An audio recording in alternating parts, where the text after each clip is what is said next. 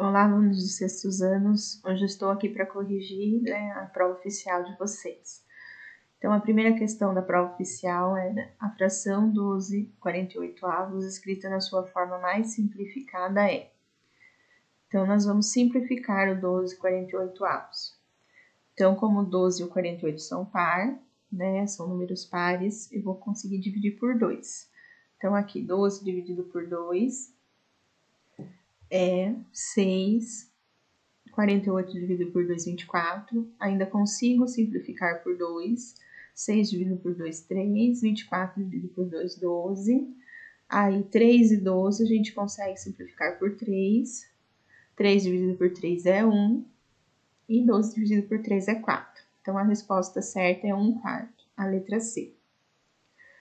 Marcela está resolvendo expressões numéricas e deve seguir a seguinte ordem de resolução para resolver essas expressões corretamente.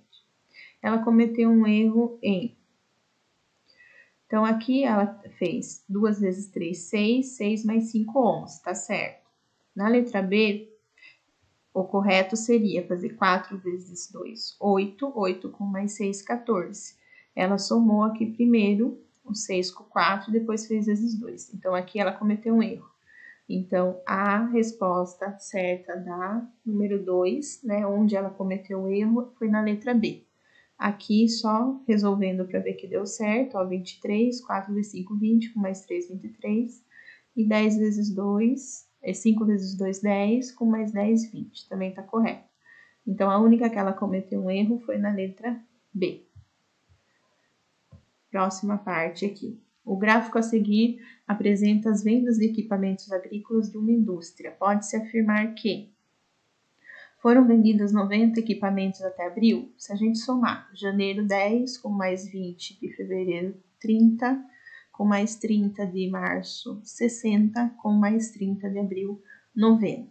Então essa essa afirmação está correta. Vamos ver as outras só para provar que a correta é a primeira. As vendas aumentaram mês a mês?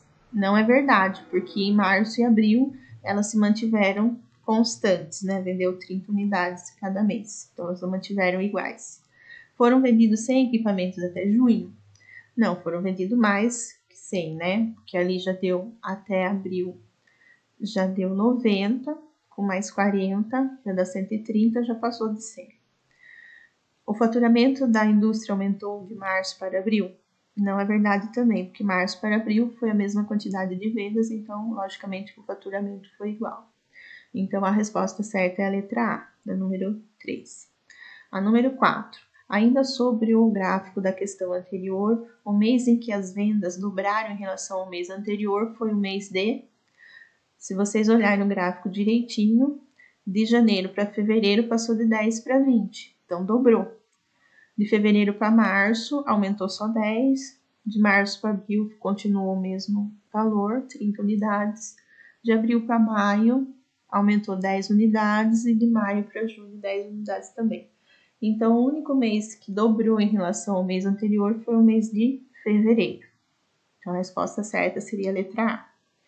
A forma correta de se escrever como se lê o número que está aqui, se a gente colocar todas as ordens aqui a gente vai ver que aqui, ó, unidade, dezena, centena, unidade de milhar, dezena de milhar, centena de milhar, unidade de milhão, dezena de milhão. Então, são 50 milhões e 5 mil.